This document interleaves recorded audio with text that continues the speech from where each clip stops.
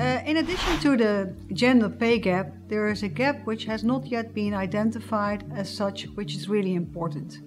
And I'm talking about the retirement savings gap. Uh, this all has to do with the financial well-being of women and well-being is being defined which consists of, a, of four interrelated items social well-being emotional well-being physical well-being and last but not least financial well-being um, women on average live longer than men. The expectancy uh, age of a baby being born today, when you're female, it's 90. When you're a male, it's uh, when you're a male, it's 88. When you're a female, it's 90. So women live longer. In the U.S., there are even five years difference between men and women. That's number one.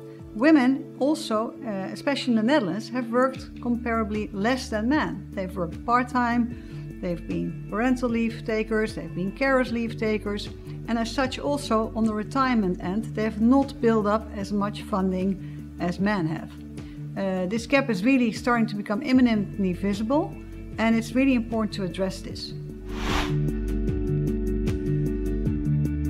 My advice is to both independent contractors and employees are the following. And make sure you're aware of your finances today.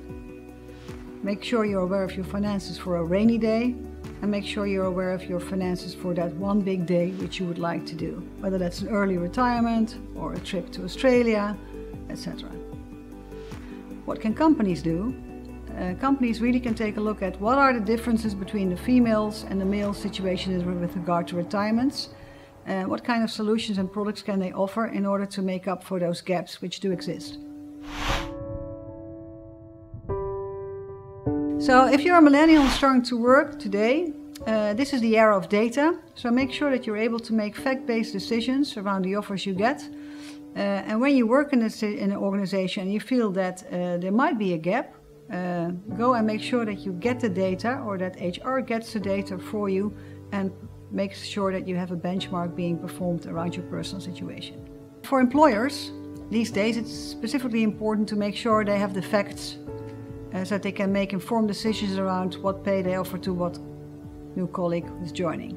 Um, if you're already in a company and feel like you um, uh, have questions around the pay you're getting and you feel like there's a disparity in your pay, you should reach out to HR, uh, reach out to your superior and ask them for a benchmark. So my advice to any woman, uh, especially young women, is um, to believe in yourself. If you don't believe in yourself, nobody else will do it. So be aware of your pros and cons, be aware of your capabilities and skill sets. Be aware that there are many good things about you, but also some bad things about you. Just embrace them and, um, and let them be as they are uh, and go forward uh, with, great, uh, with great drive uh, and be resilient uh, and have fun on the journey.